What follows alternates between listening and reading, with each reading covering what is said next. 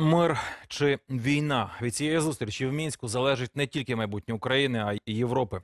Після тривалих консультацій на рівні міністрів закордонних справ сьогодні в столиці Республіки Білорусь от-от мають сісти за стіл відразу чотири світові лідери: Меркель, Оланд, Порошенко та Путін.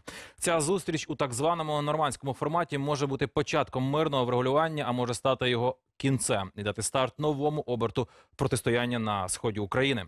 У разі зриву мінських домовленостей ЄС погрожує Кремлю новими суворішими санкціями. Вашингтон не відкидає оборонної допомоги Україні, а Київ може наважитися на запровадження воєнного стану.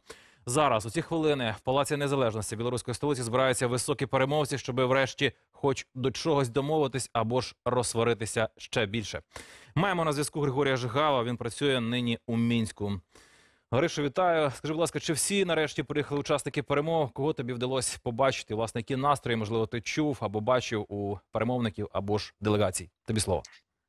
Руслан, ну власне, справді перемовини у мінську охрестили останнім шансом знайти порозуміння та уникнути великої війни. Вони мають розпочатися із хвилини на хвилину, але ця от невелика затримка, десь на півтори-дві години, можна сказати, ніщо порівняно з тим, що вранці взагалі не було ясності, чи відбудеться ця зустріч взагалі. А лише по обіді стало зрозуміло, усі летять в мінськ. От зараз, ви, до речі, у прямому ефірі можете бачити, що відбувається у палаці незалежності, де має пройти зустріч. Порошенко першим дістався до палацу, де його зустрів білоруський президент Меркель та Оланд прилетіли одним літаком і буквально.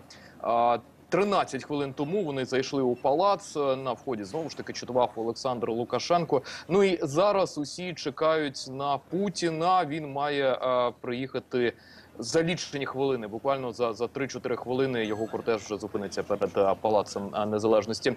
Е, Зустріч проходитиме у новобудові, такій дуже величній. І тут зараз просто неймовірна концентрація преси. Більше 400 журналістів акредитувалися на зустріч. Ще сотня кореспондентів прибули у пулі з лідерами країн. Цікаво, що перед цією зустрічю мала ще раз зібратися тристороння контактна група Україна, Росія, ОБСЄ з представниками проросійських бойовиків. Але з невідомих причин зустріч сьогодні таки не відбулася. Натомість стало відомо, які умови висунули напередодні під час засідання контактної групи проросійські бойовики. Документ кілька годин тому оприлюднило дзеркало тижня. Отже, чого хочуть керовані з Москви сепаратисти? Припинення вогню з 10 години 12 лютого.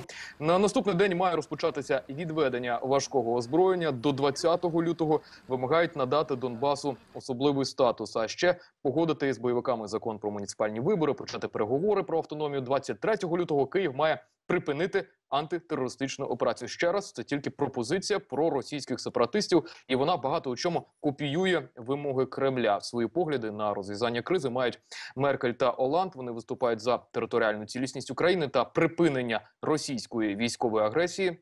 Ну і Київ наполягає на безумовному виконанні мінського протоколу. Яким буде фінальний результат зустрічі нормандської четвірки? Зараз ніхто не береться спрогнозувати.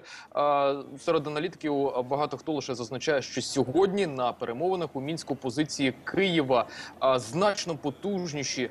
Ніж е, це було у вересні минулого року. Вже відомо, що після зустрічі четвірка не буде підписувати жодних документів, а лише е, зроблять е, спеціальну спільну заяву для журналістів. Студія. Дякую. Григорій Жигало про початок переговорів у мінську, про настрої, які панують нині в Палаці Незалежності Республіки Білорусь.